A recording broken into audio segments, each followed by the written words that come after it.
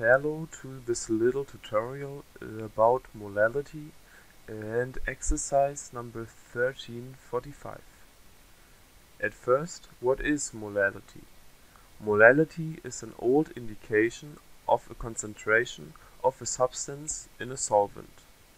The formula to calculate it is B equals the amount of substance N divided by the mass of the solvent.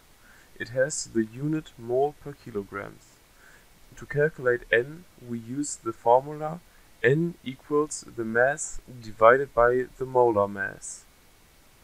For number 1345, we need to calculate the molality of 10 gram benzene dissolved in 50 gram carbon tetrachloride and 5 gram sodium chloride dissolved in 0.1 liter of water. To calculate the molality, we need to calculate the amount of substance first, with the molar mass.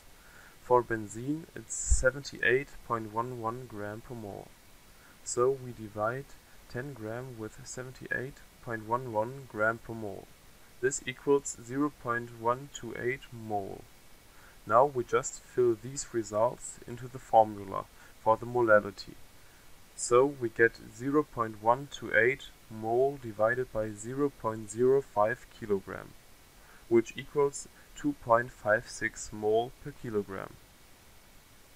The molality of sodium chloride is a little bit harder to calculate. But first we will calculate the amount of substance with a molar mass of 58.44 gram per mole which results in 0.0856 mole. Then we need to calculate the mass of the solvent with this formula. Density times the volume.